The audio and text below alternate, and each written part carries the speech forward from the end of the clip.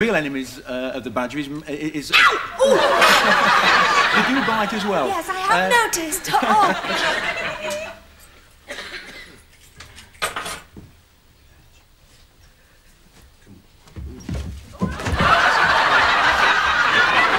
The apes are actually tailless monkeys and they've lived on the rock for centuries. God, give them a beat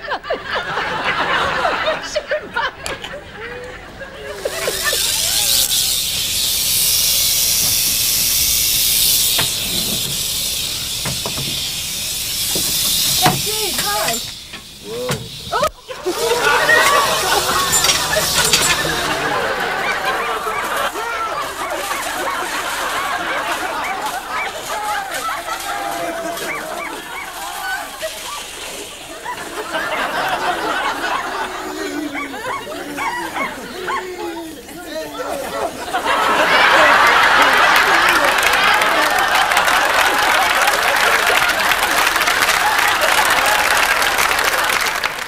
The big problem they've got is with names. They've called the... Ah!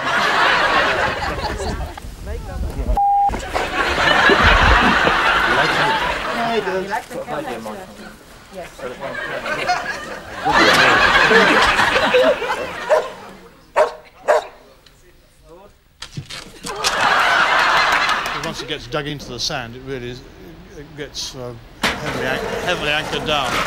Sorry, your dog's gone. Your dog's obviously spotted something. Thank you very much.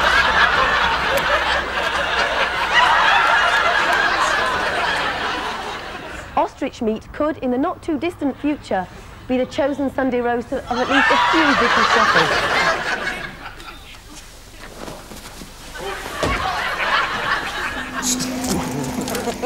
Get